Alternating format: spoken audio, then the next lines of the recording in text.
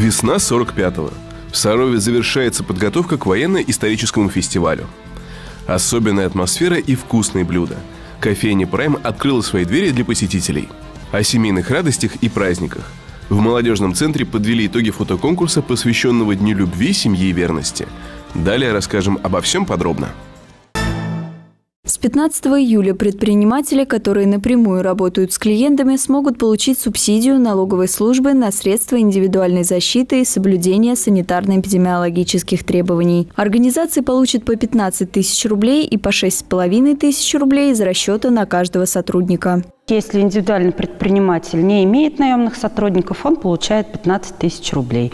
Если индивидуальный предприниматель либо организация, обязательно включенная в реестр МСП, э, имеет наемных сотрудников, то э, для расчета берется численность сотрудников за май э, текущего года. Заявление на финансовую поддержку можно отправить на электронную почту налоговой или через личный кабинет плательщика с 15 июля до 15 августа 2020 года. Среди тех, кто может получить компенсацию, некоммерческие организации дополнительного образования, предприятия физкультурно-оздоровительной сферы, гостиничного дела, ателье, мастерские и салоны красоты. Салоны красоты какие-то работают.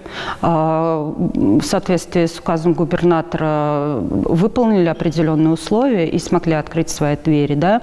Есть салоны красоты, которые не работают, ждут перехода на второй этап, но, тем не менее, такие э, предприниматели тоже могут получить эту субсидию, поскольку после открытия им в любом случае придется выполнять вот эти требования, приобретать дополнительное оснащение, средства индивидуальной защиты. Также продлили сроки предоставления компенсации из городского бюджета на зарплаты сотрудникам. Предприниматели могут подать заявление до конца июля и получить средства за период с 28 марта до 30 июня. Подробную информацию по условиям получения субсидий можно узнать в Центре поддержки предпринимательства по телефону 992 63.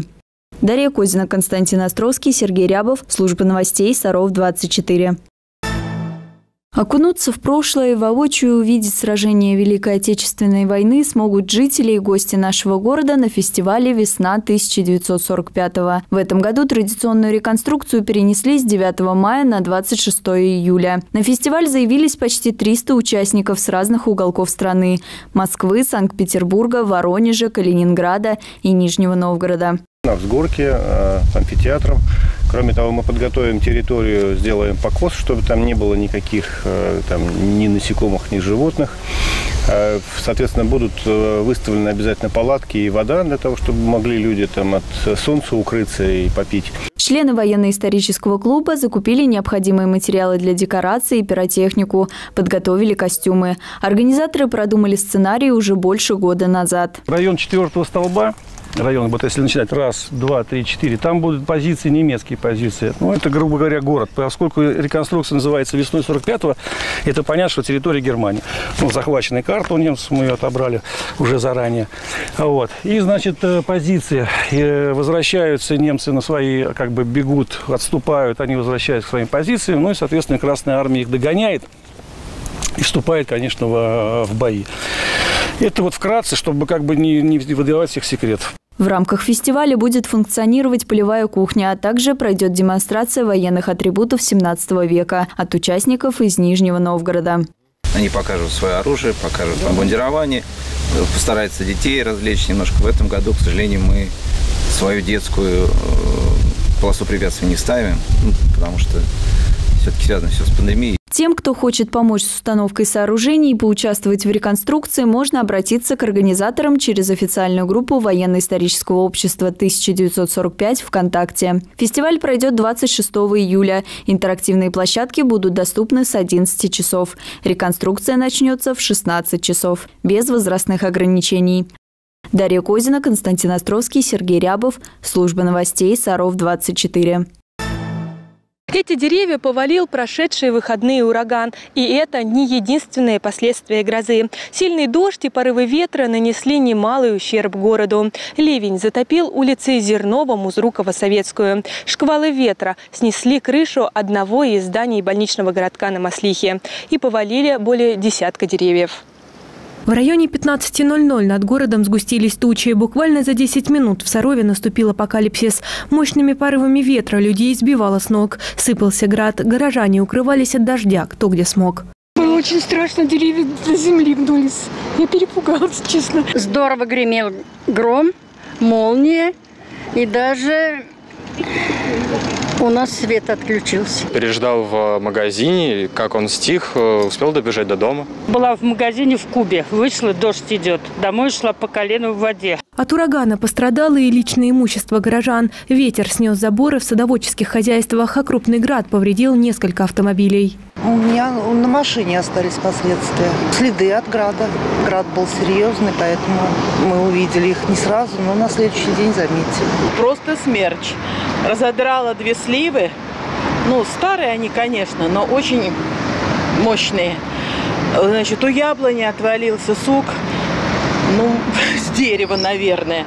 Ну, естественно, картофель там, все полегло. Лук, в общем, в общем, было ужасно. Я бы не упала. Муж у меня там был как раз. Если ураган застал вас врасплох, то не паникуйте. Первым делом необходимо найти укромное место. Отойти от окон и дверей и занять безопасное место у стен внутренних помещений. В коридоре, в ванных, комнатах, туалетах. Погасить огонь в печах, выключить электрическую энергию, закрыть краны на газовых сетях. Ирина Вышегородцева, Евгения Шевцова, Сергей Рябов. Служба новостей Саров-24. Отделался ожогами. После прямого попадания молнии по суровой статистике человек, как правило, погибает. Но 16-летний вратарь подмосковного клуба «Знамя труда» Иван Заборовский выжил, и его здоровью ничего не угрожает. Мгновенный удар молнии может вызвать паралич, глубокую потерю сознания, остановку дыхания и сердца. Вероятность поражения человека может составить примерно 1 к 600 тысячам. При этом треть пострадавших примерно погибает на месте, а выжившие получают серьезные повреждения. Случай с Иваном произошел в минувшие выходные. И эта история с хэппи-эндом скорее исключение из правил. Лучше всего обезопасить себя, соблюдая ряд несложных правил. Если есть возможность от деревьев отойти, мы отходим от них во время урагана. Если у вас имущество под деревьями находится, лучше уберите, потому что или дерево может э, сломаться, или ветки посыпаться, имущество попортят. Э, коммуникация, провода, стекла, э, трубы, все от этого надо держаться подальше. Во время грозы избегайте открытой местности. Молния бьет в самую высокую точку. Одинокий человек в поле – это и есть та самая точка. Также держитесь подальше от водоемов. Часто молния бьет в их берега. Опасно во время грозы разговаривать по мобильному телефону, ехать на машине и прятаться от дождя под временными сооружениями. Временное сооружение надо вообще стороной обходить. Зашли вы в какой-то там, решили переждать. Ну, считайте, что вы себе купол неприятностей создали. Могут и доски полететь, и куда полетят. Доска уже может принести э, травму. Если молния ударила человека при вас, окажите ему посильную помощь. Сотрудники МЧС рекомендуют перенести его в безопасное место, уложить на спину и повернуть голову в сторону. После чего делать искусственное дыхание и массаж сердца до приезда медицинской помощи. Если есть ожоги, их необходимо обильно полить водой. Обожженную одежду снять, а затем пораженное место прикрыть чистой тканью. Температура воздуха в начале июля бьет рекорды и превышает климатическую норму аж на 10 градусов. Улицы Сарова буквально опустели. Каждый спасается от жары как может. Саровчане до минимума сократили выходы на улицу. Дом, работа, продуктовый магазин – это, пожалуй, самый популярный маршрут в летний зной. Пройти его нужно быстро, чтобы как меньше попадать под солнечные лучи. И шляпы, и панамки. Все у нас в ходу. А рад вообще такому лету, нет? Конечно. Конечно, рад. Мы пенсионер, мы дома спасаемся.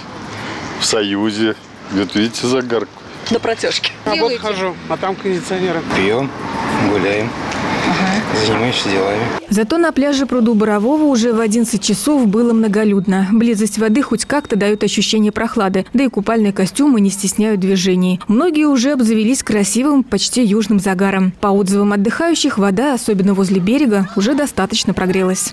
Теплая вода, почти чистая. Ну, нормально чистая, купаться можно. И дети, и взрослые в полной мере наслаждаются летней жарой. Пока одни плещутся в воде, другие принимают солнечные ванны, либо занимаются пляжными видами спорта. Жару в Нижегородскую область принесли антициклон, который сформировался над Южным Уралом и сухой воздух из-за волжских степей. Снижение температуры воздуха синоптики прогнозируют только во второй половине дня 9 июля. А пока все на пляже. Прохладу принесут дожди. Летом они обычно идут после полудня и снижают температуру воздуха на несколько градусов. Но эти послабления будут кратковременными, и жара снова вернется. Что касается июля, то по прогнозу гидромедцентра средняя температура воздуха составит 25-26 градусов. Вообще э, для июля характерна очень большая большое количество осадков, самые максимальные, 65-85 миллиметров. Это много. Но мы порой их не замечаем, потому что испаряемость в этот период при высоком солнце достаточно интенсивная. Дожди будут локальными, возможно, с грозами, с шквалистым ветром и даже градом. Кратковременные ливни – это тоже характерное явление лета. Елена Грицкова, Евгений Шевцова, Сергей Рябов. Служба новостей Саров 24. Отдых на воде – прекрасный способ спастись от жары, получить максимум удовольствия и укрепить здоровье. Тем более, что в Сарове официально открыт купальный сезон. У нас сейчас купальный сезон с 1 июля открыт э, в двух местах официально. Это озеро Боровое и озеро Протяжное. Места подготовлены для отдыха людей. Э, ну, как говорится, всех отдыхающих приглашают проводить время там. Умение хорошо плавать – одна из гарантий безопасного отдыха на воде. Но даже отличный пловец должен соблюдать осторожность, придерживаться элементарных правил, выбирать отведенные или хорошо знакомые места для купания.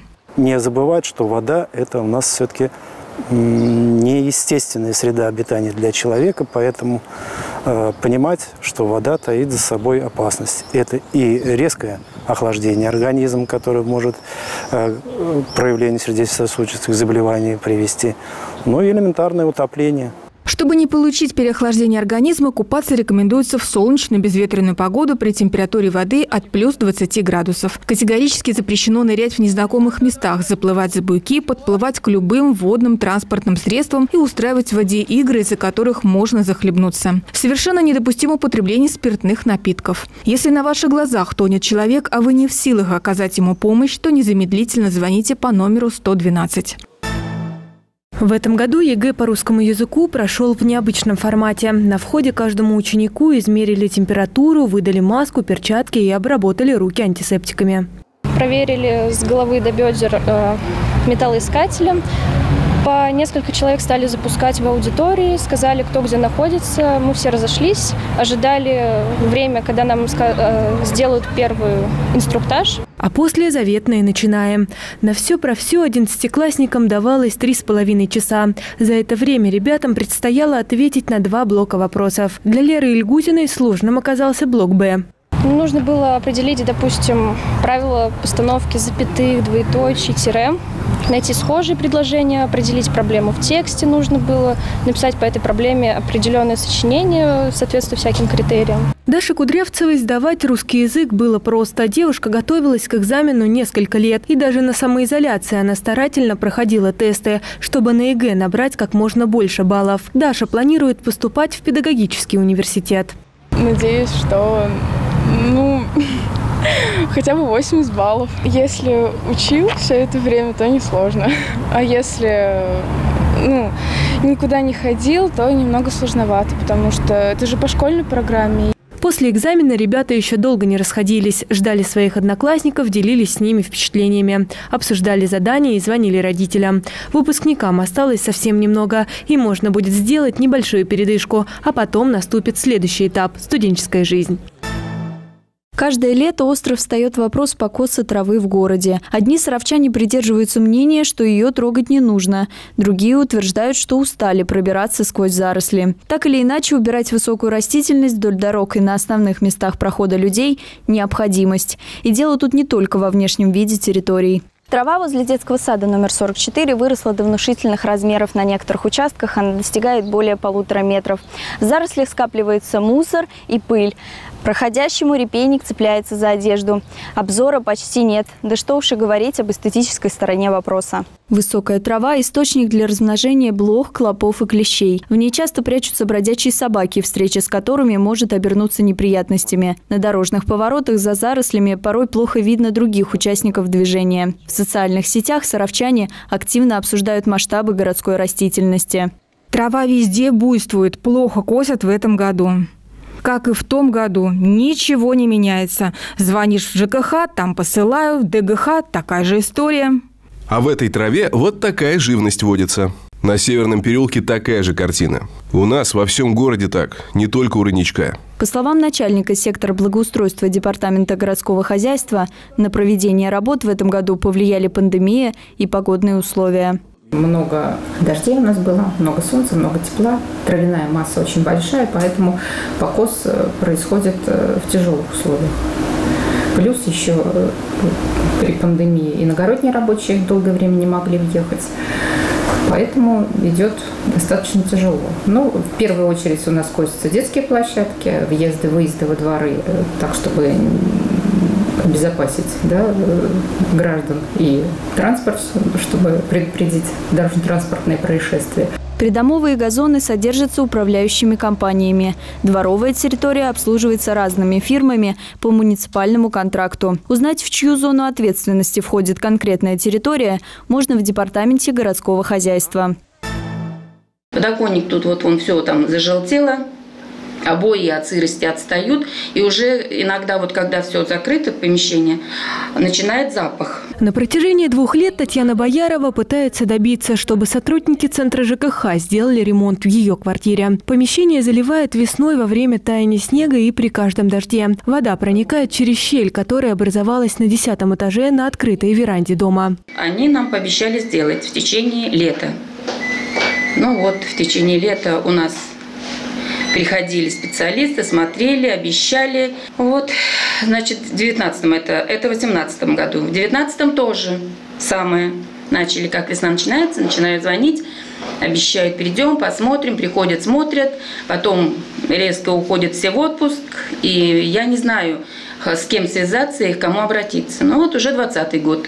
Вот как ливень, как дождь, у нас опять вот такая проблема. Татьяна и ее супруг предполагают, что внутри пола нарушена гидроизоляция и необходимо срочно вскрывать кафель. Сами Бояровы делать это боятся, говорят, что опыта недостаточно. Но чтобы хоть как-то предотвратить потоп, они соорудили ручной слив. Это муж вот построил, потому что когда с крыши течет, вода стекает, и куда-то затекает она там, потому что сразу начинает и сюда течь. Вот он сделал, чтобы ближе к канализации вот это вот там железо подложил и желобочек сделал, чтобы тоже в канализацию сразу стекало. Вот, ну все равно затекает, но хотя бы не так. В центре ЖКХ нам сообщили, что в 2020 году обращений по поводу протечки из дома номер 18 по улице Гоголя к ним не было. Последнее заявление от жильцов поступало в 2019 -м. Еще тогда все проблемы были устранены. Был прочищен внутренний водосток, Предположительно, э, протечка 2019 года, сакцентирую ваше внимание, потому что предварительные причины э, той протечки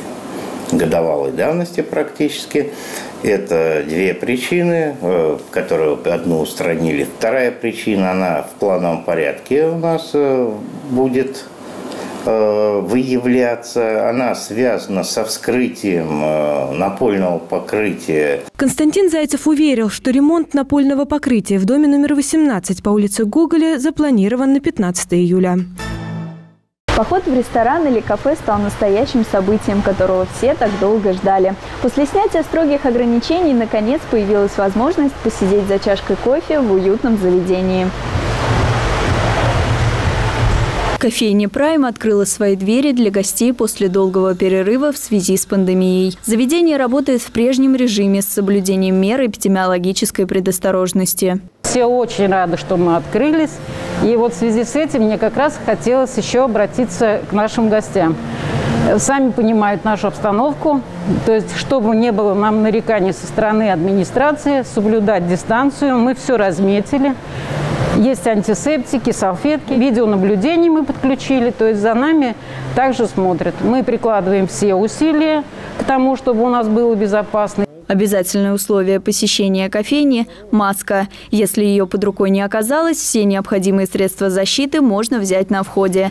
За одним столиком могут разместиться не более четырех человек. Чтобы не создавать столпотворение, гостей, которые заглянули на бизнес-ланч, будут обслуживать в залах ресторана. Чтобы им было комфортно у нас находиться, мы приняли решение, что бизнес-ланч на все это время будет в ресторане «Прайм». Там помещений больше, там подойдет официант, гости возле кассы стоять не будут. То есть они пришли в масочке, сели за столик, масочку сняли. Проблем никаких нет. Посетителей ждут вкуснейшие торты и пирожные, пицца, салаты и супы, кофе, чай и освежающие коктейли. Деловые романтические встречи, беседы с друзьями пройдут безупречно и вкусно в кофейне «Прайм» в торговом центре «Атом», первый этаж.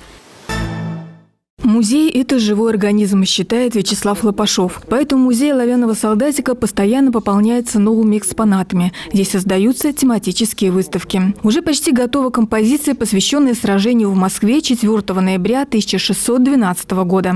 Здесь представлены как польские войска в таком в достаточном количестве. Вот кавалерия выскакивает из стен Кремля. Это прям вот в старинном фильме, кто смотрел «Мины Пожарский», там это прям вот этот эпизод показан очень достаточно качественно. Работать над созданием диорамы Вячеслав Лопашов начал несколько месяцев назад. Весной, в период строгой самоизоляции, он вместе с дочерью делал декорации. Что-то смастерил из подручных средств, а вот заготовки для стен Кремля пришлось заказывать в интернете. Из нее мы сделали московский Кремль. То есть склеили, деревянно она смастерили, покрасили дома. И вот теперь она здесь. Ну, конечно, немножечко, совсем немножечко доработки требует. То есть это установка куполов, не куполов, а шатров э, на, на стенах. Но на самом деле вот уже практически готовые изделия. И чуть-чуть немножко подработать вот почву, потому что здесь просто пенопласт, он будет, там же будет и земля, там будет и трава. Три полки одного из стеллажей посвящены Параду Победы, который прошел на Красной площади 24 июня 1945 года. В строю замерли пехотинцы, летчики, моряки, подводники. Есть фигурки командующих войсками и даже Сталина. В планах сделать экспозицию, посвященную событиям 8 мая 1945 года в Берлине. Штурм именно Рейхстага. То есть у нас уже есть оловянные солдатики, они уже закуплены, именно вот атакующие с красным знаменем. Большая диорама, посвященная Бродинскому сражению, тоже пополнилась новыми миниатюрами. Количество фигурок военнослужащих обеих армий перевалило за две тысячи. Теперь эта экспозиция все больше соответствует строкам Лермонтовской поэмы об этой битве. Смешались кони и люди. Юбилеи писателей и поэтов, годовщины написанных ими произведений, события, которые становятся отличным поводом поближе познакомиться с личностью авторов и их творчеством. Уникальные редкие экспонаты и современные издания. Их для саровчан представят сотрудники библиотеки Маяковского на выставках в Музее книги. В отделе редкого фонда хранится около трех с половиной тысяч изданий художественной и научной литературы. Библиотека Маяковского входит в число держателей книжных памятников Российской Федерации. Ее сотрудники хотят показать читателю, что книга не только источник знаний. Книги могут быть предметом искусства и изобретения человечества. Множество книг хранятся в редком фонде а, по а, той причине, что они представляют из себя культурную историческую память. А, многим книгам более ста а, лет. Они оформлены выдающимися художниками, иллюстраторами, написаны а, известными классиками русской и зарубежной литературы. Этим летом библиотекари периодически будут формировать экспозицию из книг, которые находятся в читальных залах и доступны к пользованию, а также из особо ценных экземпляров, которые обычно скрыты от глаз посетителей. Чтобы обеспечить сохранность наиболее ценным изданиям, а, мы храним наши а, книги в закрытых шкафах и а, особо ценные издания мы размещаем вот в таких футлярах из бескислотного картона. И, безусловно, их разглядывать и смотреть можно только в специальных перчатках. При определенном запросе читатель может тоже воспользоваться этими же самыми перчатками и тоже посмотреть, полистать. Не пропустите уникальный шанс окунуться в мир литературы культуры и искусства. Следите за нашими новостями. Мы будем рассказывать обо всех летних выставках в библиотеке имени Маяковского. Семья Никаноровых активно участвует во всех конкурсах молодежного центра. За 8 лет совместной жизни они получили более 50 грамот. В День семьи, любви и верности Никаноровым вручили еще две. Они стали победителями сразу в двух конкурсах «Радость отцовства» и «Семейный подряд». Хочешь, чтобы дети брали с нас пример? Потому что дети – это наше продолжение, и, соответственно, дети такие, ну, какие, каких они видят своих родителей.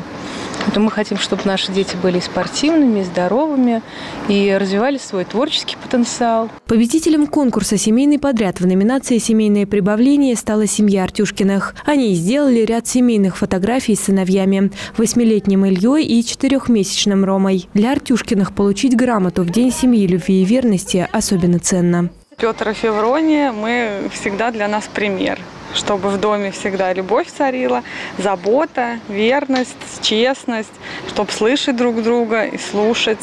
Самое главное. Конкурс «Семейный подряд» в молодежном центре проходит ежегодно. В этот раз в нем приняло участие 42 семьи в пяти номинациях. Семейное прибавление, семейная акварель, семейный спортотряд, семейные посиделки и семейная карусель. Задачей конкурса «Семейный подряд» было объединить семьи через э, совместную творческую деятельность. У нас это получилось, потому что фотографии совершенно замечательные, яркие, креативные. Спасибо большое всем семьям, э, принявшим участие в этом конкурсе. Сегодня сотрудники молодежного центра готовят для активных семей очередной конкурс. Но какой рассказывать не стали. Решили пока оставить в тайне. Рфят СМНЕФ подвел итоги марафона «Антиковид-2020». Весь июнь сотрудники Рфят СМНЕФ самостоятельно занимались спортом на открытых площадках города. Представители девяти коллективов физкультуры Рфят СМНЕФ соревновались в беге, велоспорте и силовых упражнениях. В зачет шла совокупность результатов всех членов команды. В первом этапе с 1 по 10 июня участники должны были преодолеть суммарную дистанцию в 2020 километров. С 11 по 20 июня веломаршрут в 20 200 километров. С 21 по 30 июня женщины соревновались в отжимании, мужчины в подтягивании в индивидуальном зачете. Отжимания и подтягивания в течение 10 дней нужно было уже каждому сделать 202 отжимания или 202 подтягивания. Ну, надо сказать, что все выполнили практически. А, мы перевыполнили бег. У нас там получилось порядка там, 5000 мы набежали а, перевыполнили тоже велосипедный спорт. У нас там получилось тоже около 23 тысяч.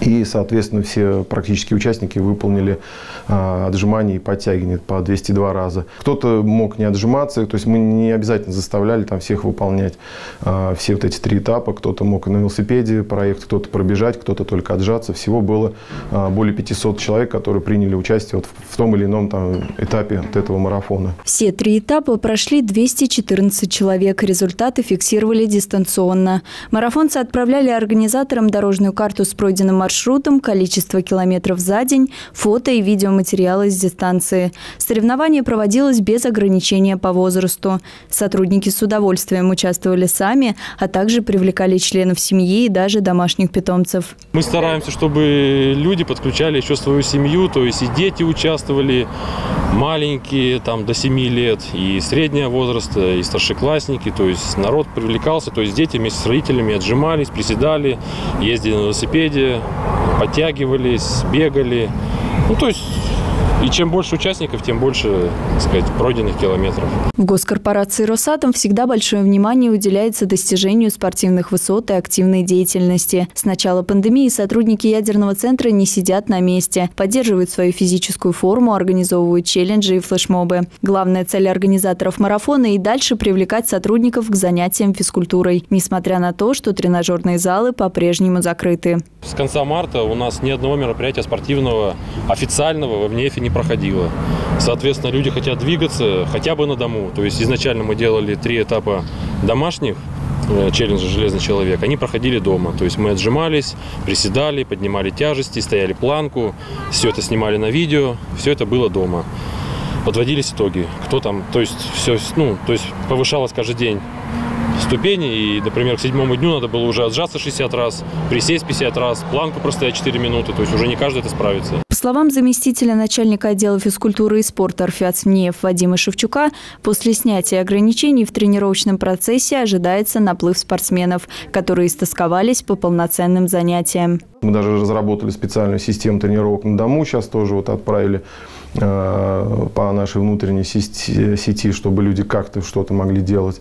Потому что не, не, ну, мы пока не понимаем, когда все это закончится. Но я думаю, что бум будет такой серьезный. Потому что чуть какое-то послабление нам уже сразу звонки идут, э, когда можно в зал прийти, когда можно заниматься там-то, там-то, на каких-то площадках. В мае в нашем городе должно было состояться одно из крупнейших спортивных событий отрасли – летняя Атомиада. На ней традиционно выявляют лучших в мини-футболе, настольном теннисе, бадминтоне, гиревом спорте, плавании, баскетболе, легкой атлетике и пляжном волейболе. В связи с пандемией спартакиаду пришлось перенести на предварительную дату с 10 по 13 сентября. Спортсмены активно готовятся к соревнованиям и надеются, что к этому времени разрешат проводить массовые мероприятия.